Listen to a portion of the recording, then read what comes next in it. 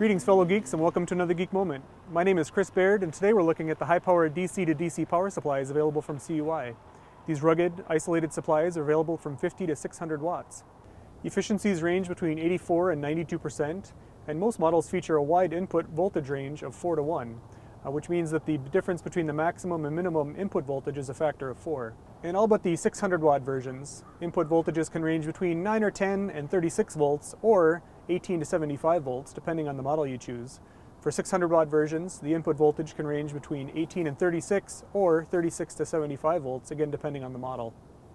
Output voltages available between 3.3 and 48 volts are marginally adjustable and remote sensing is available for uh, accommodating for line loss. They have excellent line and load regulation and operate over the entire industrial temperature range of minus 40 to plus 85 degrees Celsius, which makes them an excellent choice for the ridiculously cold winters here in northern Minnesota. To give you some insight into just how cold 40 below is, earlier this winter I was shoveling my driveway and the actual air temperature was around 30 below Celsius, but the wind chill was dipping to about 45 below. My eyes were starting to water and the tears were causing my eyes to freeze shut. My hands and feet were going numb and even my mouth was starting to go numb, causing me to slur my speech and every time I inhaled, it was like breathing in needles. Needless to say, shoveling was not going well, and it was time to find a different solution. Being an engineer, my default reaction to problems is to innovate my way out of them, so it's time to head to the drawing boards, and the result was a Snowbot.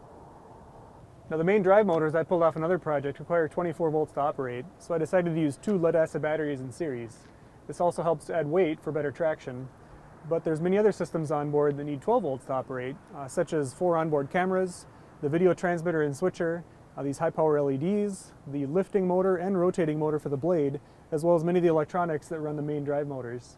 Now, I could have hooked these up to one of the two batteries, but it would have discharged them unevenly, leaving the pack unbalanced, and that requires me to charge the batteries separately, either using two chargers or taking twice as long, and that's not a great solution either.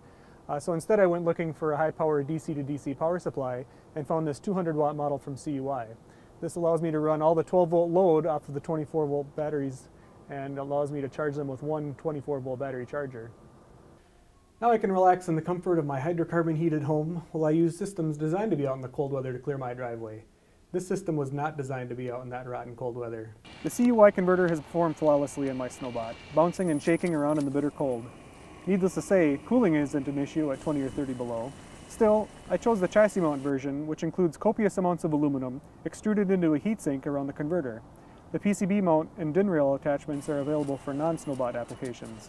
This high-power DC to DC converter from CUI has allowed me to move snow and even entertain the dog a little without having to battle the elements. What will you do with one? Tell us below and head to digikey.com today to pick yours up. We'll catch you next time for another Geek Moment video.